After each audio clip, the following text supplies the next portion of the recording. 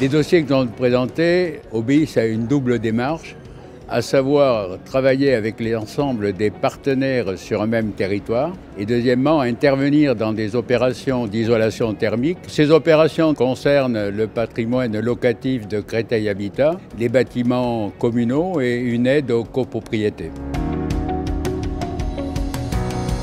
L'intérêt est double. Il s'agit de protéger la planète et de réduire les émissions de gaz carbonique, de réaliser des économies au niveau des budgets respectifs, que ce soit des bailleurs ou que ce soit du budget communal.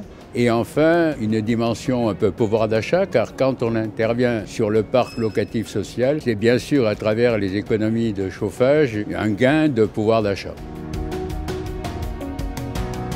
de s'engager dans une collaboration avec l'ensemble des institutions sur un même territoire, mobiliser les collectivités territoriales euh, qui sont intéressées par euh, ces programmes et de mobiliser à travers euh, les différentes aides qui peuvent exister les moyens financiers permettant des opérations importantes.